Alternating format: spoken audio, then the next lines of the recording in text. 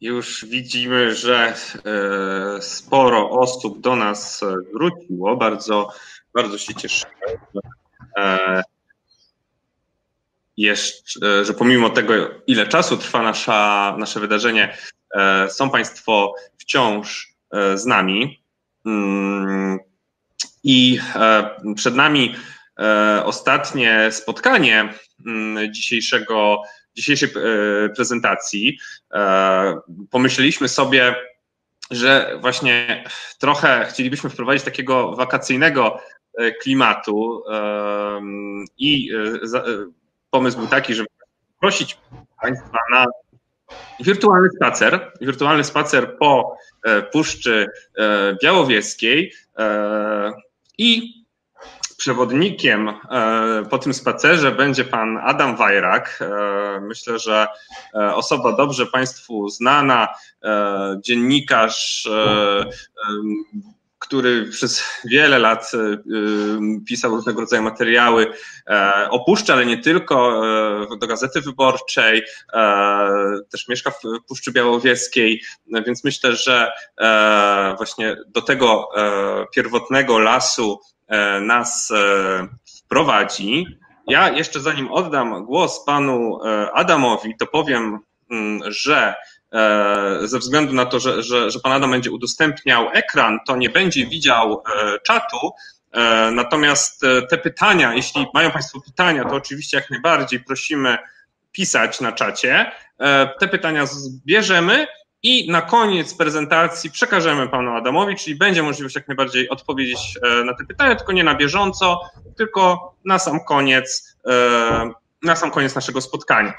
E, chciałem też przypomnieć, że po, po spotkaniu z panem Adamem będzie jeszcze element taki programu, możliwość porozmawiania z koordynatorami, koordynatorkami programów CEO o 16 E, tak jak zakończymy, zakończymy spotkanie z panem Adamem, a o 16.45 za 15.05 tutaj e, na e, Click Meetingu podsumowanie, zakończenie naszej ogólnopolskiej prezentacji. Zachęcam, żeby, żeby dołączyć też również na to zakończenie, ze względu na to, że będzie dla Państwa, myślę, miła niespodzianka. O, to tyle, jeśli chodzi o e, to, co jeszcze przed nami, a tymczasem już oddaję głos, e, głos panu Adamowi. Dzień dobry, e, dzień dobry, dzień dobry Państwu. Zaraz włączę moją prezentację. Bardzo jest mi miło, że mogę Państwu opowiedzieć o Puszczy Białowieskiej. Tytuł mojej prezentacji jest taki dość prowok prowokujący. Puszcza Białowieska, ostatni las ale mam nadzieję, że e, zachęci on Państwa do przemyśleń na temat lasów, e, lasów w Polsce, lasów w ogóle, e, no i tego, jakim wyjątkowym lasem, a może właśnie ostatnim lasem jest Puszcza Białowieska.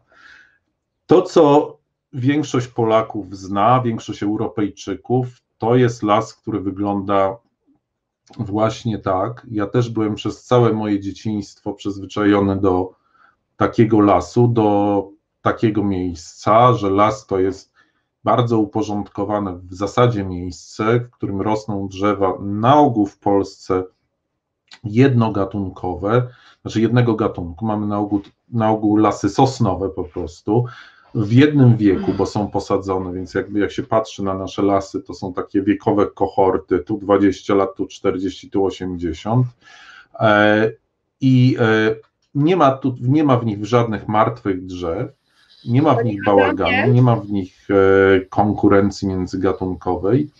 Można Panie powiedzieć, Adamie, że tak. Chciałam tylko przeprosić, czy mógłby Pan Halo? udostępnić ekran? Och, przepraszam, to się nie cofnęło. Szkodzi, nie szkodzi, tak interesująco i ciekawie Pan mówi, tylko że fajnie by było jeszcze wizualnie to zobaczyć, a to po prostu zniknęło w momencie, kiedy pojawiły się dwie osoby. Dobrze, dobrze, zaraz spróbujemy to zrobić. Wszystko tak, już widać Pana. Zaraz, zaraz, zaraz, zaraz to zrobimy. Tu w przeglądarce. O. Mhm. czy już widać Tak, ekran? widać już pulpit, tak jest. O, a teraz? Tak jest, wszystko mamy, także dziękuję bardzo. Super, bardzo, bardzo przepraszam, e, bo ja nie, nie wiedziałem, więc zacznę od tego, że właśnie od, właściwie zacznę od tego zdjęcia, które pokazuje, tak jak Państwu mówiłem, lasy, które znamy, mniej więcej większość lasów, które są w Polsce, to tak wygląda, to jest jednowiekowa sosna, posadzona sosna, są one czyste, wysprzątane, tak się kojarzył mi też las bardzo, bardzo długo. I e, i muszę powiedzieć, że pierwszy raz, kiedy zobaczyłem Puszczę Białowieską i zobaczyłem coś takiego, no to byłem łagodnie mówiąc przerażony. To znaczy, był, opanował tutaj olbrzymi bałagan, drzewa rosły jak chciały, y, wiele gatunków różnych, pokrzywionych, zgnilizna, jakieś dziwne owady brzęczą, więc jakby nie było to, nie miało to nic, ale to nic wspólnego z lasem, który, E, który znałem i którym jest, tak jak mówię, w większości pokryte 30% powierzchni Polski. Na dodatek na tych przewracanych drzewach rosły różne dziwne rośliny, no i oczywiście to, co wiemy z Puszczy Białowieskiej, mieszkają tu bardzo dziwne zwierzęta, największe europejskie ssaki, e, żubry, one mogą ważyć nawet do tony, to jest ostatni przedstawiciel megafauny europejskiej i można powiedzieć, że Puszcza Białowieska przetrwała dzięki nim, bo to była taka ostatnia ostoja, dlatego, dlatego jej nie wycinano, bo były tu żubry, no i żubry też przetrwały trochę dzięki Puszczy Białowieskiej. No do tego, jak się przyjrzeć, to jest cała masa różnych dziwnych form życia, o których jeszcze powiem, form życia, bardzo, bardzo bogata jest Puszcza Białowieska w różnego rodzaju formy życia, e, których nie spotykamy w innych lasach, które być może lasami nie są. Ale o tym za chwilę na, na początku spróbujemy sobie odpowiedzieć, bo to jest takie pytanie, e, czy, jakim lasem ta Puszcza Białowieska jest. I, i tutaj jest bardzo duże, duża dyskusja na temat pojęć. Niektórzy naukowcy, jak na przykład profesor Bogdan Brzeziecki, który akurat nie jest wielkim zwolennikiem ochrony puszczy, ale na potrzeby publikacji naukowych e, na przykład mówi, że Puszcza Białowieska to jest Virgin Forest, czyli las dziewiczy. To jest oczywiście nieprawda, bo lasy dziewicze to są takie lasy, w których nie mamy, nie mamy wpływu, nie mamy wpływu człowieka na takie lasy. Lasy pierwotne to są takie lasy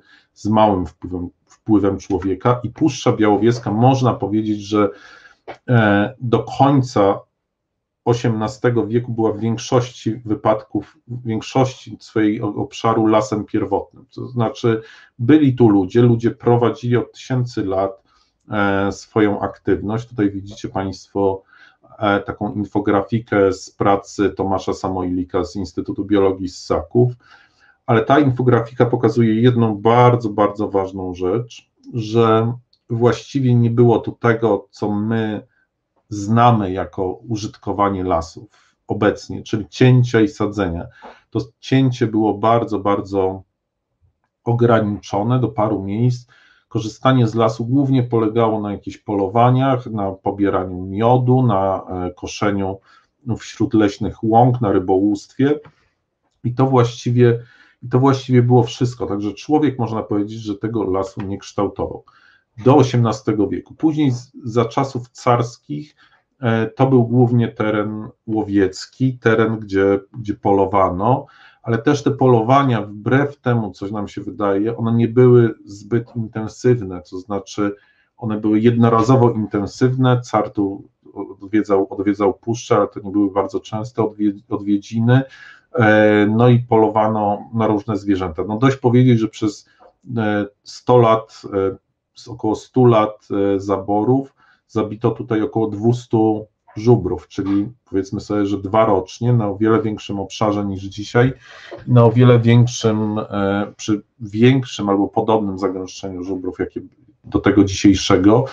E, dzisiaj z przyczyn humanitarnych, z powodu chorób i tak dalej, Park Narodowy zabija kilka żubrów, więc to jest jakby jakby też porównuje, por, mówi nam o tym, że te polowania, chociaż wydają nam się wielkie, one nie były bardzo, bardzo, e, bardzo dotkliwe dla przyrody, o tak to nazwę, chociaż w połowie XIX wieku wybito, wybito wszystkie drapieżniki, e, to znaczy wybito i wilka, i rysia, i niedźwiedzia. Ryś, ryś i wilk wróciły w czasie I wojny światowej, niedźwiedzia przed wojną próbowano reintrodukować, to się nie udało. O tym, jak puszcza była e, bardzo dzikim lasem jeszcze pod koniec XIX wieku, no świadczą chociażby zapiski e, wielu odwiedzających puszczę. Mamy bardzo dużo notatek z tego okresu, właśnie szczególnie z XIX wieku, i tutaj mamy też opis Henryka Sienkiewicza, który nie był wielkim zwolennikiem takiego zapuszczonego lasu, ponieważ był pozytywistą, ale ten opis pokazuje, jakim lasem, jak dzikim lasem była puszcza. I też to jest trochę taki trend mój do, do dyskusji, które mamy teraz na temat puszczy, że to jest bardzo dużo zwalonych, martwych świerków zabitych przez kornika i że to jest zupełnie coś niebywałego i że katastrofa i, i nienaturalnego. No nie jest to prawda, ponieważ to było tak zawsze, to znaczy właściwie puszcza wyczyszczona z martwych drzew to jest, e, to jest e, rzecz nienormalna, normalną rzeczą jest puszcza pełna e, martwych drzew. Ta cała sytuacja zmienia się w 1915 roku. Tu mamy zdjęcie z 1916 roku. Do puszczy wkraczają wojska niemieckie, widzą masę Ci Niemcy widzą masę wielkich drzew, e, masę wielkich zwierząt, to są żubry, sprowadzają swoich specjalistów z afrykańskich kolonii, no i zaczyna się gigantyczna eksploatacja puszczy, no, która z różnymi przerwami właściwie trwa do dzisiaj, tak? E, puszcza jest naprawdę bardzo silnie eksploatowana. E, tutaj widzimy zdjęcie, to jest bardzo ciekawe zdjęcie, to jest zdjęcie satelitarne E, takiego amerykańskiego programu szpiegowskiego Korona z grudnia 90, 61 e, roku. I tutaj widzicie Państwo, tam gdzie jest śnieg, tam są, tam widać, widać białe kwadraty, to są zręby. To na czerwono zaznaczone to jest rezerwat ścisły Białowieskiego Parku Narodowego. Obecnie, kiedyś wyłącznie Białowieski Park Narodowy. Widać, że tutaj jest puszcza nieruszona, widać też taką wzdłuż, e, wzdłuż szosy, ja to może pokażę, hajnowskiej, taki tak zwany rezerwat przyszosowy, no i widać, że po radzieckiej stronie ta puszcza jest mniej cięta i ona się w ogóle jakoś zabliźnia tereny przedwojenne. E, także puszcza była bardzo, bardzo długi czas, e, bardzo intensywnie eksploatowana, ale muszę powiedzieć, że ta eksploatacja nie doprowadziła do całkowitego przekształcenia tego lasu. Wciąż ma bardzo dużo kawałków naturalnych i wciąż te kawałki e, nienaturalne w wyniku różnych zaburzeń, na przykład w wyniku działania kornika, powracają do naturalności. Więc możemy znaleźć bardzo, bardzo dużo ciekawych, wręcz naturalnych albo zbliżonych do naturalnych części puszczy. No i mamy tutaj bardzo dużo różnorakich typów lasów. To jest bór, tak powinien wyglądać bór, czyli e, lasy sosnowo-świerkowe z jakąś lekką domieszką, może grabu, może, może dębu. E, bor, w borach powinno być pełno martwych drzew i to są bory, tutaj widzicie Państwo bory z Białowieskiego Parku Narodowego. E, mamy też Y, olsy to są takie podmokłe lasy, które składają, których utrzymuje się prawie, powinna się utrzymywać prawie cały rok woda. Woda w puszczy niestety mamy bardzo duży niedobór. To jest związane ze zmianami klimatu, ale również z tym, że ona jest pocięta bardzo mocno przez rowy melioracyjne, robione właściwie od, od końca XIX, od końca XIX wieku, i, i to, to wygląda bardzo, bardzo źle. No ale takim najpospolitszym tutejszym typem lasu jest grąd, czyli las liściasty, gdzie dominującymi gatunkami jest grab, jest lipa, e, są dęby e, w mniejszej ilości, no i czasami trochę świerka, trochę sosny. Co jest bardzo, bardzo charakterystyczne wciąż dla Puszczy Białowieskiej, to jest to, że my mamy tutaj bardzo dużo wielkich drzew, wysokich, dojrzałych drzew. To znaczy, to się bierze po części z tego, że jednak coraz częściej udaje się coraz większe części puszczy ochronić, Myślę, że również z tego powodu, że naturalna selekcja, czyli kiedy drzewa sadzą się same, nie sadzi je człowiek, działa lepiej niż, e, niż e, uprawy najpierw z nasion w szkółkach, później przenoszenie z tych szkółek i sadzenie wrzątki, więc jakby e, mamy bardzo, bardzo dużo wielkich drzew, można powiedzieć wysokich drzew. Do jeszcze do niedawna rekord polski, świerk, który miał 52 metry wysokości, to był świerk Białowieskim Parku Narodowym. W tej chwili wyższym drzewem jest jodła, która też znajduje się, co ciekawe, na terenie chronionym, czyli w Bieszczackim Parku Narodowym. Więc jakby mamy te tutaj bardzo wysokie drzewa, no dęby potrafią dochodzić, potrafią być wyższe niż 40 metrów. E, żeby Państwu uzmysłowić mniej więcej ile to jest 52 metry, to jest mniej więcej 13-14 piętrowy budynek.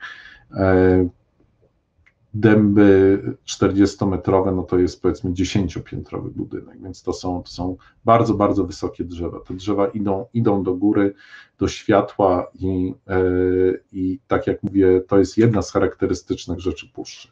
No inną charakterystyczną cechą puszczy i takiego naturalnego lasu jest to, że, yy, że mamy gatunki drzew, które się nie kojarzą ale to zupełnie, zupełnie się nie kojarzą z przeciętnemu zjadaczowi chleba z lasami, na przykład graby, chociaż graby są dość podobne do buków, mamy trochę bukowych lasów na północy i na zachodzie Polski, na południu, ale tutaj na wschodzie jest głównie grab, no ale takie drzewo jak e, graby są zresztą bardzo, bardzo ciekawe, bardzo pożyteczne, ponieważ one wraz z wiekiem, e, z wiekiem się wykręcają, mają bardzo dużo dziupli, w nich żyje masa zwierząt, ptaki, e, owady, takie jak trzmiele, ptaki takie jak muchołówka białoszyja, zresztą o tym za, za, za jakiś czas powiem. No ale mamy też drzewa, które się zupełnie, zupełnie nie kojarzą z lasem e, na przykład lipy. Tutaj mamy taką starą lipę z odrostami, lipę z Białowieskiego Parku Narodowego. One też są bardzo strzeliste wyglądają na pierwszy rzut oka wręcz jak takie tutejsze dęby. E, lipy są o tyle ciekawe, że mogą, właściwie one żyją bez końca, tak? Bo jak ten stary główny pień się wywraca, to, to ten odrost obok sobie, sobie rośnie i, e, i właściwie to jest genetycznie to samo drzewo. Lipy właściwie nie ma w polskich lasach, została wyrugowana przez gospodarkę leśną, a powinna być. I tutaj w Puszczy Białowieskiej, która jest takim charakterystycznym lasem dla polskich niżów, dla niżów europejskich. E, mamy takie części, takie kawałki, które się wyłącznie składają z lipy. Można powiedzieć, że mamy tutaj lipowe lasy, co brzmi trochę szokująco, bo e, lipa nam się kojarzy z drzewem parkowym albo takim przydomowym. E, tutaj mamy bardzo ładne odnowienie lipy, e, lipa, młode lipy bardzo teraz e, dobrze się odnawiają w lesie, więc mamy tej lipy coraz więcej i więcej. To może świadczyć też o, o ocieplającym się klimacie. Kolejne drzewo, które nie kojarzy się przeciętnemu człowiekowi z lasem, a, w Puszczy Białowieskiej jest go sporo i w innych lasach też go powinno być sporo, to jest klon. Ja klony poznaję po takich mechatych, mechatych łapkach. I to jest bardzo charakterystyczne, że one mają taki intensywnie, intensywnie zielony, obfity nalot mchu. To jest charakterystyczna cecha tutejsza klonów. No, inną bardzo charakterystyczną cechą dla lasów naturalnych, i to nieważne, czy to jest dżungla y, gdzieś y, w Amazonii, czy, czy to są lasy deszczowe, czy czy to, są, czy to jest właśnie Puszcza Białowieska, to jest to, że my mamy tutaj bardzo, bardzo duże bogactwo ptaków, ale żyjące w bardzo małych zagęszczeniach, to znaczy dużo gatunków, ale, ale jakby zagęszczenia tych ptaków są małe. Bierze się to zapewne z tego, że tu jest silna presja drapieżników, że mamy też dużo drapieżników, takich jak kuny, ale także gryzonie, które wyjadają e, ptakom, e, potrafią taką wyjadać jaja i, i pisklęta. Bardzo ciekawą rzeczą jest to, że wiele tych ptaków gnieździ się w taki pierwotny sposób, niespotykany już gdzie indziej, na przykład e, to jest strzyżyk i on ma, on ma łacińską taką śmieszną nazwę troglodytes. Troglodytes, e, czyli troglodyta, niektórzy ornitolodzy tłumaczą to tym, że on jest taki bardzo napakowany, on jest wielkości mniej więcej najmniejszego naszego ptaka, czyli myśli królika, e, ale jest o wiele cięższy, a druga, drugie wyjaśnienie jest takie, że on się po prostu gnieździ w różnych zakamarkach wykrotów, czyli, czyli korzeni powalonych, powalonych drzew i że troglodytes raczej się wiąże ze słowem jaskiniowiec niż, e, niż taki napakowany, napakowany gościu, więc to jest jakby dość pospolity ptak wszędzie, natomiast tutaj u nas się gnieździ w taki pierwotny sposób. Ciekawe jest jeszcze to, że mamy całą populację jeżyków, czyli tych ptaków, które znacie Państwo z miast, które gnieżdżą się tutaj w Puszczy Białowieskiej w dziuplach, czyli ta populacja musiała nieprzerwanie tu trwać jeszcze przed pojawieniem się jakichkolwiek miast. To znaczy one są przyzwyczajone do dziupli, a nie do szpar w murach. No i naj, chyba najbardziej charakterystyczną grupą ptasią, którą tutaj mamy i która też świadczy o wyjątkowości Puszczy Białowieskiej, to są dzięcioły. Mamy wszystkie 10 europejskich gatunki, gatunków E, dzięciołów. No największy jest oczywiście czarny, ale mamy tutaj maluszka małego, małego, najmniejszego dzięcioła, jakim jest dzięciołek. E, mamy dzięcioła średniego, to jest ten dzięcioł.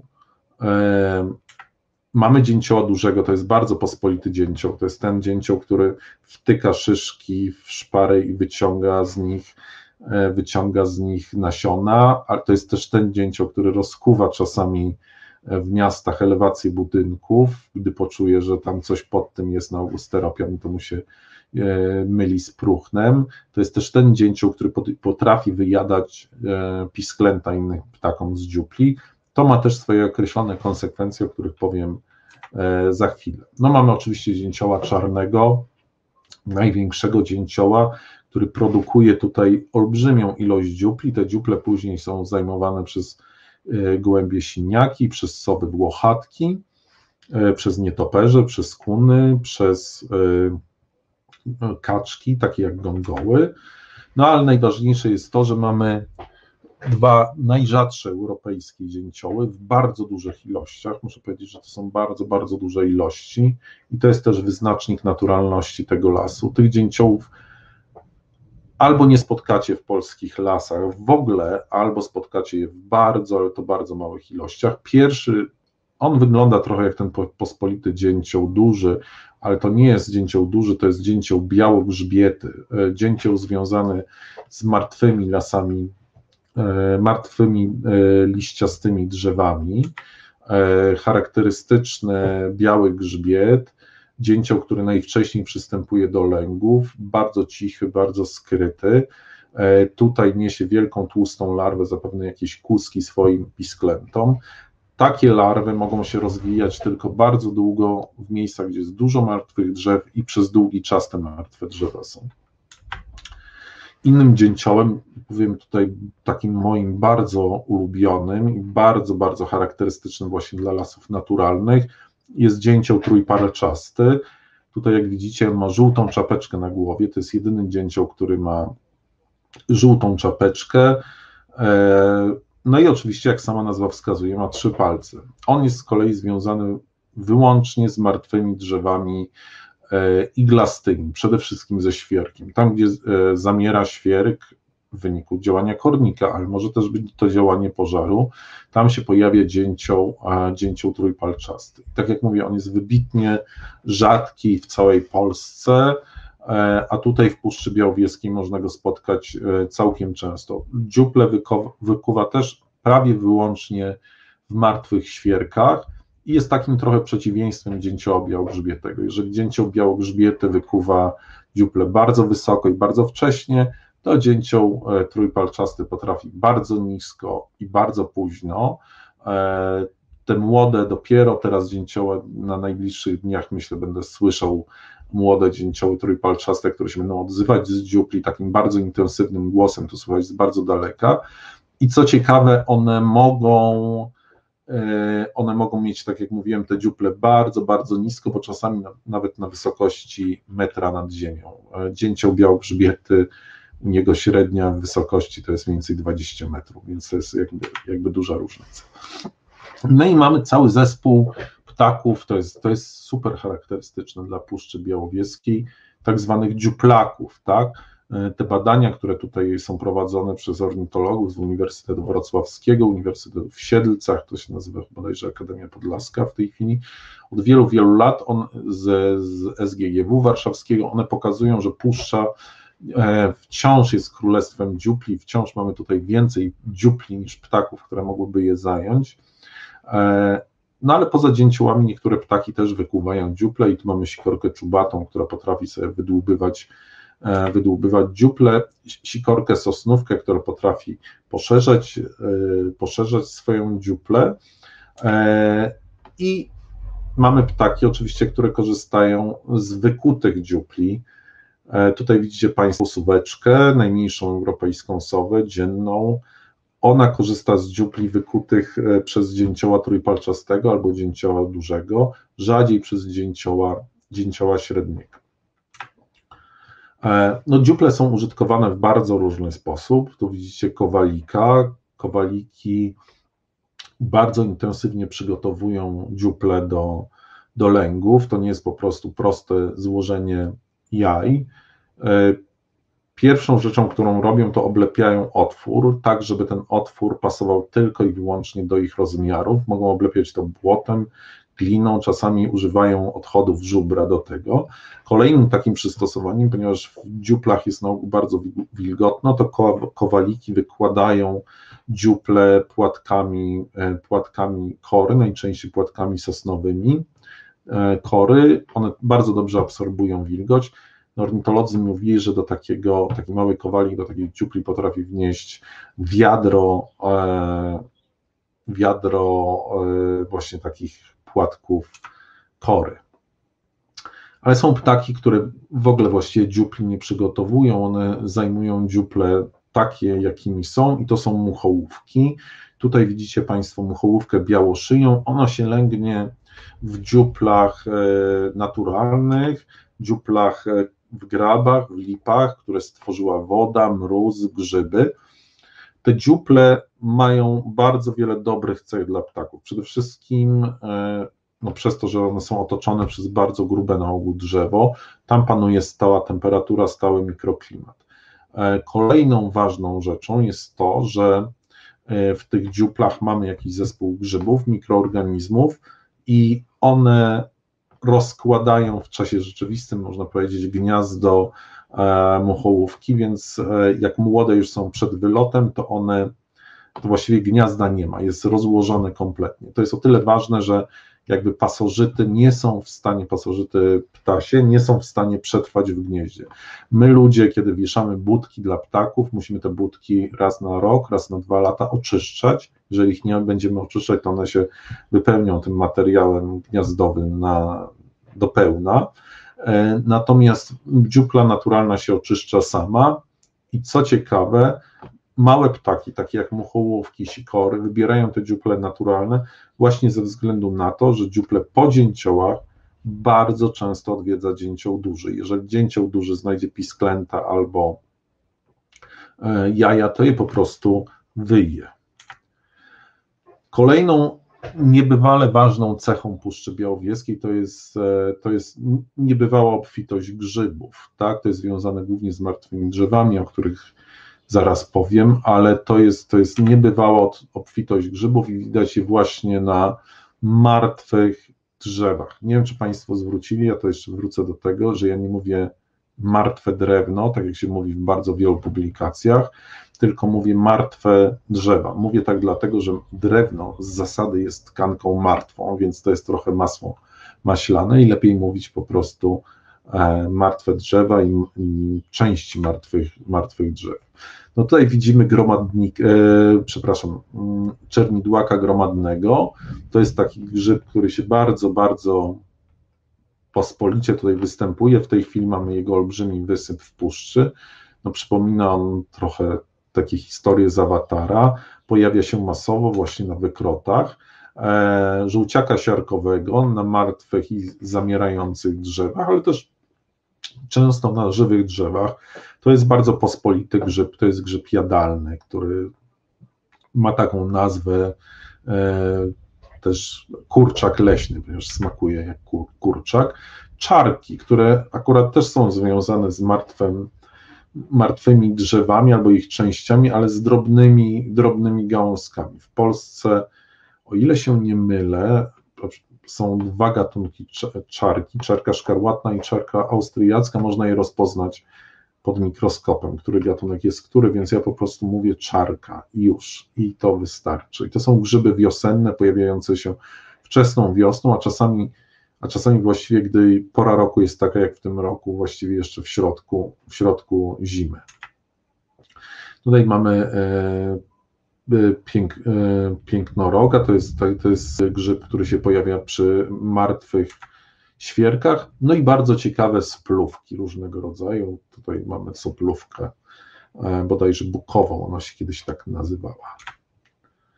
E, kolejnymi organizmami związanymi z martwym, martwymi drzewami e, są śluzowce. Śluzowce to jest taka grupa organizmów, która ma cechy grzybów, trochę cechy zwierząt, ale, ale nie, jest, nie jest ani jednym ani drugim. E, tutaj mamy wykwit takiego śluzowca, e, który, tak jak powiedziałem, te, ta grupa organizmów nie jest ani jednym, ani drugim. No czasami przypomina grzyby rzeczywiście, ale ze zwierząt ma to, że potrafi wędrować. I tu mamy wykwit e, piankowy bodajże, który sobie właśnie wędruje po takim martwym, martwym pniu, po deszczach, kiedy jest ciepło. Te organizmy można spotkać także w innych polskich lasach. Jeżeli ktoś mnie pyta, jak bogata jest Puszcza Białowieska i na czym polega to bogactwo, to ja zawsze mówię, że, że to trochę przypomina rafę koralową. I e, tu mamy takie zdjęcie martwej kłody grabowej i widzimy na niej, na niej cztery grupy organizmów, to znaczy ten powój, czyli rośliny wyższe, mychy, to jest jakiś płonnik, E, grzyby i te czerwone kuleczki to jest śluzowiec, e, rulik nadrzewny, taki bardzo charakterystyczny też, dość pospolity śluzowiec. Co jest charakterystyczne dla takiego lasu, dla normalnego lasu naturalnego i dla lasów, jakie powinny być, to jest, zwrócił na to uwagę mój e, przyjaciel i mistrz Maciej Zaręba-Bielawski, mówi, no tutaj na każdym kroku widać śmierć no i rzeczywiście tak jest, po prostu cały czas mamy zamieranie. E, mamy olbrzymie ilości w porównaniu z innymi lasami martwych drzew i tu Państwu podam liczby. W przeciętnym polskim lesie jest coś około 5, może do 10 metrów e, sześciennych martwych drzew na hektarze. Czasami nawet tego nie ma. Natomiast w Puszczy Białowieskiej w rezerwacie ścisłym mamy blisko 160 metrów na e, hektarze. E, poza, rezerw poza rezerwatem w innych częściach, gdzie ta gospodarka leśna jednak się dała puszczywe znaki, to jest około e, to jest około 80 metrów. I te drzewa są, martwe drzewa, które tu mamy, są bardzo, bardzo różnorodne. Mamy martwe drzewa liściaste przewrócone, martwe drzewa iglaste, takie jak, e, jak świerki, jak sosny. E, co, y, mamy martwe drzewa w postaci wykrotów, które są taką wspaniałą ścianą do życia dla bardzo, bardzo wielu organizmów. Co jest bardzo ważne, ta, te martwe drzewa, ich części mamy bardzo różnorodne, w bardzo różnorodnych środowiskach i one i one są, e, jakby potrafią tu trwać bardzo długo. Przyjmuje się średnio, że takie martwe drzewo e, rozkłada się, przepraszam, rozkłada się jedną piątą tego, co żyje, czyli dom, który miał 500 lat, będzie się rozkładał całkowicie 100 lat i przez tyle służył różnym organizmom. Ale to jest tylko średnia, bo w Białowieskim Parku Narodowym mamy jeszcze stojące sosny, które zamarły w połowie XIX wieku i wciąż stoją i wciąż jakby służą bardzo różnym organizmom.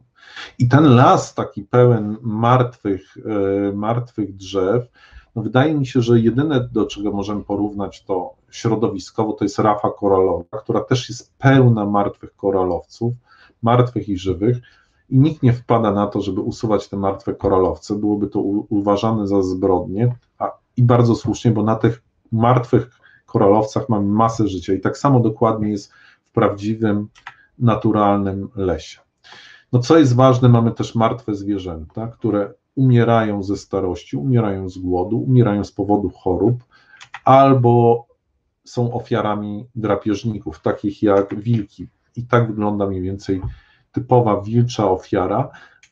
Te martwe zwierzęta są, e, to tutaj e, akurat Nuria, moja żona, robiła te badania, dostarczają pokarm dla przynajmniej 33 gatunków zwierząt kręgowych. To mogą być kruki, bieliki, orliki, orzeł przedni, myszołów, jastrząb, ale także e, takie ptaki jak właśnie dzięcioły, e, sikory, e, no i na przykład masa ssaków, kuny, borsuki, lisy, no a także wilki zjadają na przykład padłe żubry, bardzo lubią je jeść.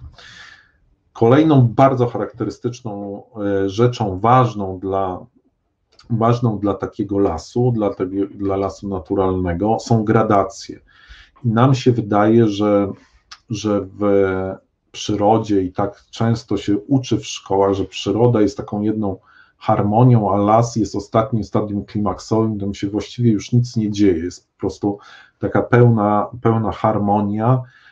To nie, jest, to nie jest prawda. To znaczy, w, le, w lesie mamy pulsowanie masy zasobów, to się zmienia w zależności od lat, w zależności od roku.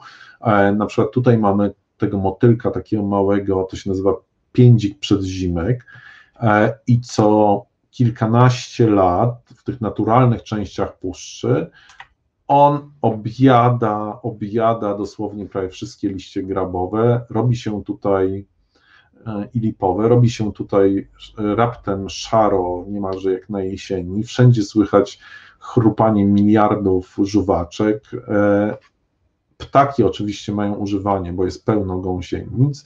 Te gąsienice jakby przyspieszają obieg materii, bo e, wydalają, trawią, to wszystko spada na glebę. Drzewom to specjalnie nie szkodzi, bo one po takiej gradacji wypuszczają e, pączki zapasowe.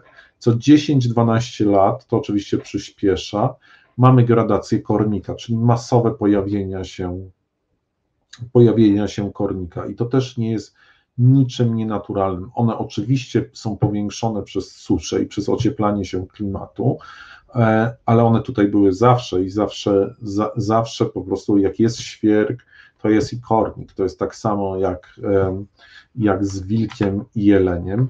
Korniki zabijają świerki wchodząc pod, e, pod korę, przerywając e, transmisję wody i soków i soków, natomiast nie niszczą drewna i to jest też, też ważne. E, tak wygląda mniej więcej kłoda po, po kornikach. No i tak wygląda las po korniku. On rzeczywiście dla człowieka, który nie jest oswojony z lasem naturalnym, który myśli o tych lasach wyczyszczonych ze wszystkiego, on, ten las może się wydawać na pierwszy rzut oka przerażający, ale dla mieszkańców puszczy nie jest przerażający w niczym, jest pełen, ale to pełen życia. I muszę powiedzieć, że takie lasy zabite, te części puszczy zabite przez kornika są jednymi z ciekawszych miejsc tutaj w puszczy. No tutaj widzicie na przykład gniazdo kosa na takim złamanym, e, złamanym pniu świerkowym, tutaj różnego rodzaju grzyby, no i oczywiście dzięcioł trójpalczasty. Dzięcioł trójpalczasty jest tylko i wyłącznie w takich e, lasach, w takich lasach tylko może wychowywać swoje młode.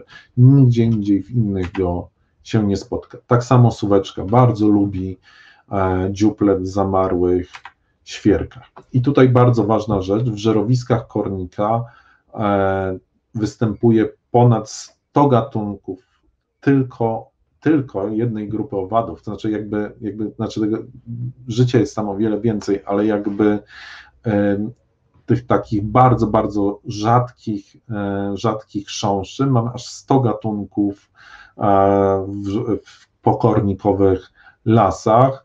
No i na przykład rozmiast kowleński, to który jest, nie mam jego zdjęcia, przykro mi nie spotkałem go, jest bardzo rzadkim owadem. Puszcza Białowieska jest jedynym miejscem jego występowania Polsce i on potrzebuje zabitych przez kornika świerków, które są średniej wielkości, które wywróciły się na wilgotnym środowisku, ale wywróciły się tak, że główny pień nie dotknął gleby, tylko oparło się na gałęziach. Więc jak widać, te martwe drzewa dla wielu, wielu organizmów nie, nie tylko musi być ich duża ilość, ale bardzo duża różnorodność. No i tutaj mamy różnego rodzaju owady, to jest jakiś rębacz, tutaj mamy żerdziankę, żerdziankę urusowa, która też żyje w pokornikowych świerkach, potrzebuje, żeby taki pień stał e, no, ładnych kilka lat po korniku. Ta żerdzianka urusowa w Polsce jest bardzo rzadka, w Puszczy Białowieskiej jest dość pospolita. No i też jeżeli mówimy, mówimy o tym, często słyszymy o tym, że po prostu świerk tutaj wyginie w puszczy i się wycofa. On oczywiście ze, wraz ze zmianami klimatycznymi będzie się wycofywał, to jest, e, to jest borealne, czyli takie bardziej można powiedzieć e, wschodnio-północne drzewo, związane z, z, miejscem, gdzie jest dużo zim, ale w tej chwili świerk się tutaj w puszczy bardzo, bardzo dobrze odnawia i tutaj widzicie Państwo, jak na przykład mały świerczek, który wyrósł sobie na pniu takiego, takiego martwego świerka, to jest dość częste zjawisko. E, świerki się świetnie odnawiają, jest ich naprawdę dużo, podobnie z innymi gatunkami drzew.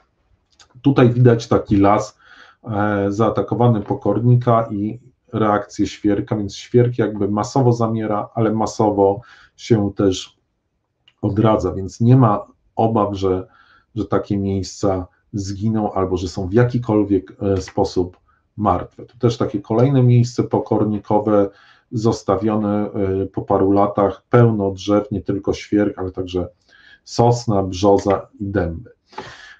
Bardzo też kolejną e, taką ważną cechą takiego lasu jest to, że mamy, tak jak mówiłem, te lata są bardzo różne, są, to nie jest jakby jednolitej konstans w czasie i się zmieniają bardzo, ale to bardzo zasoby pokarmowe i mamy czas głodu i czas obfitości. Jeżeli spojrzycie Państwo na dno takiego lasu naturalnego wczesną wiosną, to, on, to wtedy tam wybucha życie. Jest pełno zawiców, e, pełno przylaszczek, wszystko, wszystko kwitnie, ale tak naprawdę to jest bardzo, bardzo krótki czas, bo kiedy duże drzewa zamkną, rozwiną liście i zamkną koronami dopływ światła, to wtedy na dnie lasu wszystko ginie, jakby jest, jest bardzo tam mało, e, mało życia i rzeczywiście jakby taka produkcja pierwotna dna lasu jest pięciokrotnie mniejsza niż produkcja takiej wystawionej na, na światło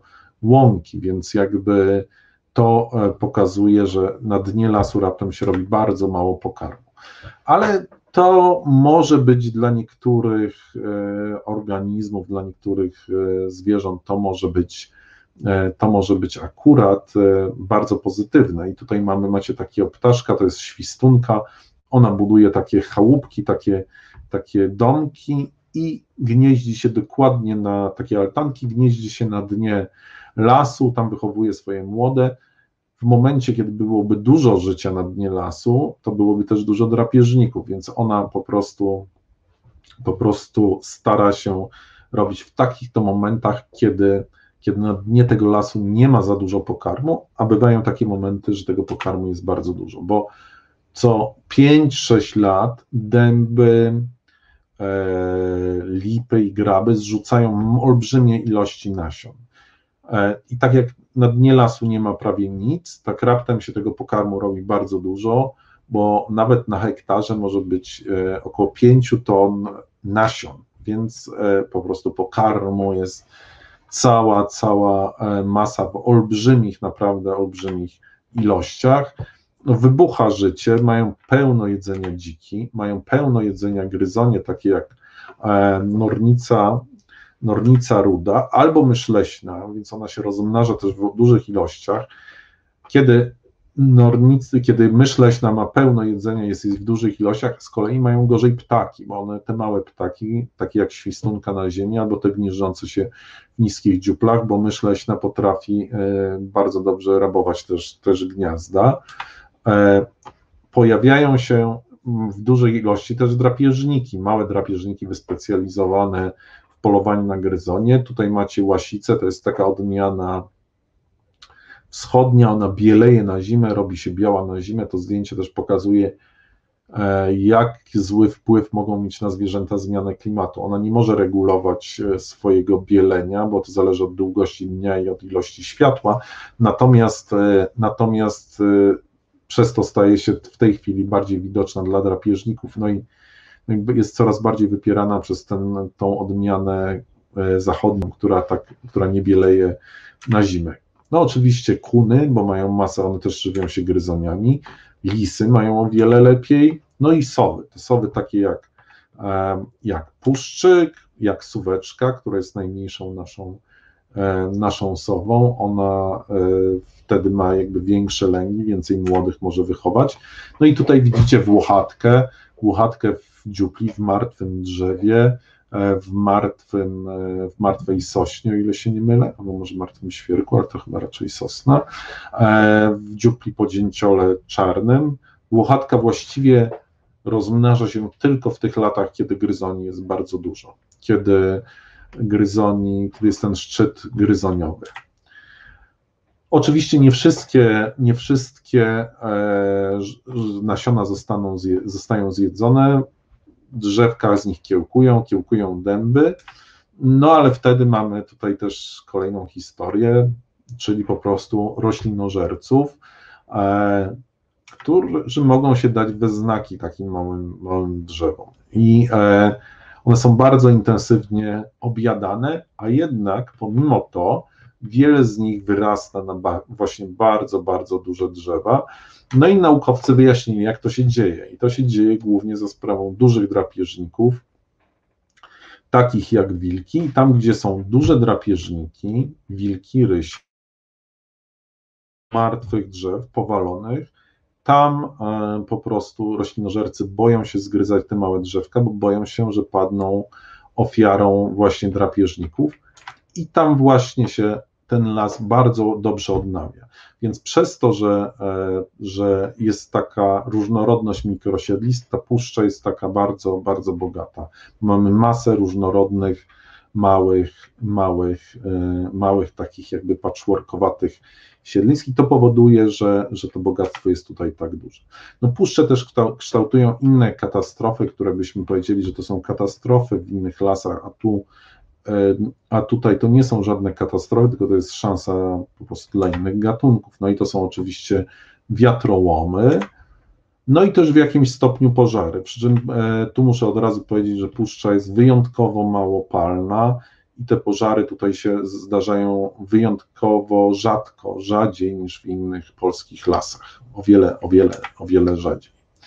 E, ale takim drzewem, które korzysta z pożarzysk jest sosna. Ona się, ona się odnawia tylko właściwie wyłącznie tam, gdzie się e, paliło. Tutaj widzicie Państwo zdjęcie kawałka puszczy koło mojego domu, bardzo zapuszczonego, bardzo zabałagonionego. Zresztą warto pamiętać o tym, że słowo puszcza bierze się od e, puścić, zostawić, ma ten sam źródłosłów co pustynia, czyli miejsce bez człowieka, bez ingerencji człowieka.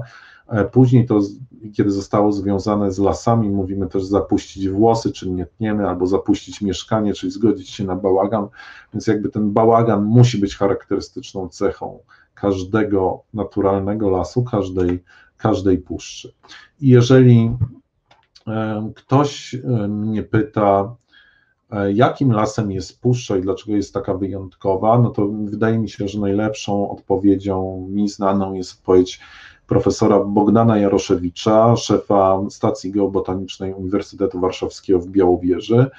I on mówi tutaj jedną bardzo ważną rzecz, że nie ma co rozdrabniać, czy puszcza roztrząsać, czy puszcza jest e, najlepiej zachowanym lasem naturalnym, pierwotnym, czy, czy może dziewiczym, tak jak na początku e, widzieliście Państwo w tej publikacji. Najważniejsze jest to, że puszcza jest najlepiej zachowanym lasem nizinnym strefy umiarkowanej, jaki mamy w ogóle na półkuli północnej. To jest o tyle ważne, że e, oczywiście mamy inne lasy naturalne, mamy lasy naturalne górskie, mamy lasy naturalne gdzieś w tajdze, ale lasy strefy umiarkowanej, na nizinach, gdzie nie było ani bardzo zimno, ani bardzo gorąco, e, były dostępne, bo były na nizinach, były najszybciej przekształcane albo na pola uprawne, albo na uprawę drzew, które obecnie nam przypominają lasy.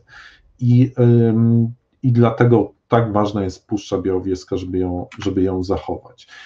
E, jeżeli pytacie, ktoś mnie na pewno spyta, jaki to ma wpływ gospodarka leśna, to pokażę to na, na kilku slajdach. Otóż no, drzewa są po prostu wycinane. E, nie będzie tu martwych drzew, bo wszystkie drzewa zostaną zabrane. Sadzona była sosna jeszcze do niedawna, wrzątki. E, grodzone to przez jele, przed jeleniami, no i to właśnie kończyło się tak, że wiele części puszczy zostało zamienione w takie, właściwie to są plantacje, to są uprawy drzew, to w niczym nie różni się od tych wielu miejsc, które, które mieliśmy, widzimy w Polsce. E, w 2017 roku, jak Państwo wiecie, doszło do olbrzymiej, gigantycznej wycinki, głównie suchych świerków, ale to spowodowało totalne zniszczenie wielu bardzo cennych e, części puszczy. Zostały one zamienione znów, tak jak mówię, na plantacje. Mam nadzieję, że puszcza ma w sobie jeszcze tyle siły, żeby żeby ten proces odwrócić. Wiem, że te, to może zostać odwrócone, no ale musimy zostawić się w spokoju. Bardzo często są, e, są prowadzone różne rozważania, tu jest taka mapa z różnymi strefami reżimów ochronnych i mówimy, że to ok, dobrze, tu będziemy się zgadzać na, na wycinanie tyle, a tam tyle. Ja uważam, że to jest bezprzedmiotowa dyskusja. E, że powinno być tak jak na Białorusi, czyli większość puszczy powinna być w ochronie ścisłej. E, chciałbym, żeby ta ochrona nie oznaczała zakazu wstępu do lasu, bo uważam, że ludzie powinni poznawać puszcze, bo dzięki temu poznają e, to, czym jest prawdziwy las, ale na absolutnym jednak zakazie prowadzenia gospodarki leśnej. I tu chciałbym powiedzieć, że często słyszę taki głos, czy, czy nas stać na to, czy nas nie stać. No więc w Polsce mamy 9 milionów hektarów lasów, 7, 7 milionów jest w zarządzie Skarbu Państwa, czyli lasów państwowych, a polska część Puszczy Białowieskiej to jest mniej niż 1% tego wszystkiego, więc jakby to jest naprawdę, naprawdę bardzo, bardzo mało. I uważam, że jak najszybciej Puszcza E, powinna się e, stać parkiem narodowym, gdzie takie procesy jak gradacje, e, jak huragany, jak oddawianie się, jak gnicie mogą zachodzić i możemy je obserwować, bo one są dla nas bardzo, ale to bardzo pouczające. Dziękuję bardzo za uwagę i teraz czekam na pytania. Halo? Halo, halo. Tutaj e, bardzo dziękujemy. Bardzo dziękujemy za bardzo ciekawą e, opowieść. E, mamy kilka pytań i jeśli osoby e, e, też e, chcą jeszcze zadać pytanie, to jak najbardziej zapraszamy do tego. Tutaj głównie Kacper pytał. Pytania od Kacpra były takie. Czy w Puszczy Białowieskiej odnawia się populacja niedźwiedzi? Z jakiego aparatu pan korzysta, czy z Canona, czy z Nikona i kiedy wyjdzie książka Kuna? O, więc ja nad kuną, e, nad wznowieniem kuny właśnie pracuję. Myślę, że to w ciągu dwóch, trzech miesięcy ona wyjdzie. E, korzystam z kanona, a jeśli chodzi o niedźwiedzia, to znaczy można powiedzieć, że no trudno nazwać to odnawianiem się populacji, ale mamy coraz częściej niedźwiedzie, które wracają do puszczy i, i tutaj są w puszczy. W zeszłym roku był u nas był niedźwiedź tutaj po polskiej i białoruskiej stronie i w tym roku jest po białoruskiej stronie. Więc widać, że one powoli wracają. Dziękuję bardzo. A Canon czy Nikon? Canon, Canon, tak. Canon, Canon. Tutaj nie wiem, czy pan widzi czat. Pan Aleksander pyta, jak daleko ma pan do sklepu, bo wiem, że mieszka pan w lesie. Nie, ja nie mieszkam w lesie, mieszkam w Teremiskach, to jest taka mała, mała wioska. E, do sklepu mam 7 km, co nie jest jakąś specjalną e, przeszkodą, bo to jest e, no, 20 minut na rowerze, więc bardzo szybko mogę dojechać do sklepu.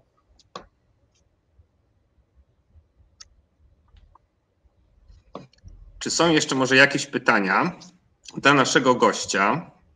To ostatnia szansa, żeby czegoś się dowiedzieć. Kilka osób tutaj bardzo dziękuję, dziękuję za wspaniały wykład. Jest pytanie jeszcze, czy sam pan robił te zdjęcia? Tak, I czy można... wszystkie sam. Wszystkie mhm. sam. I czy można będzie w przyszłym roku zaprosić pana na zdalną lekcję? Tak, bardzo proszę. Co u Lolka? Pytanie u Lol, o Lolka. No Lolek bardzo dobrze się miewa, jest bardzo rozpieszczony, ale teraz trochę jest przerażony, bo nadchodzi burza i on się bardzo boi burzy. On bardzo nie, jest gorąco, też on też tego nie lubi. Pani Alicja pyta, czy będą jakieś nowe projekty w telewizji? No, bardzo usilnie nad tym pracuję, ale e, nie wiem, to, to jakby ode mnie nie zależy, tylko od różnych telewizji. A teraz być może taki projekt uda nam się zrobić dla jednej z telewizji, tak. Ale żeby nie zapeszyć, nie powiem której. Było pytanie również, kiedy kolejny komiks z serii Umarły Las? E, może w przyszłym roku, ale to nie będzie z tymi z podobnymi bohaterami, to będzie kontynuacja, ale niekoniecznie to będzie o umarłym lesie już. I jeszcze mamy jedno pytanie. Czy pod Pana dom podchodzą zwierzęta? Jeśli tak, to jakie? Znaczy tutaj, e, ponieważ to jest mała taka polana w lesie, to mamy tutaj właściwie wszystkie zwierzęta, które które można obserwować w puszczy. Żubry bardzo często są pod domem, e, są jelenie, zdarzają się wilki, e, lisy, orlik krzykliwy, żurawie. Czasami do ogródka zimą przylatuje suweczka, także jest bardzo sympatycznie. Dzięcioły niektóre też tak. I jeszcze mamy pytanie od Alicji Pacewicz. Adamie, co masz w tych papierach na stole? W których? no chyba tych, poprawę. Po, to są e, Nuri papiery. Okej. Okay. To nie, no to są wszystkie różne, różne publikacje. Tutaj jest biurko Nuri. Nuri. Ja mam tu swoje papiery, ale ich nie wiem. Dobrze. Jeszcze Kacper dopytuje, czy ma pan w ogródku wypluwki?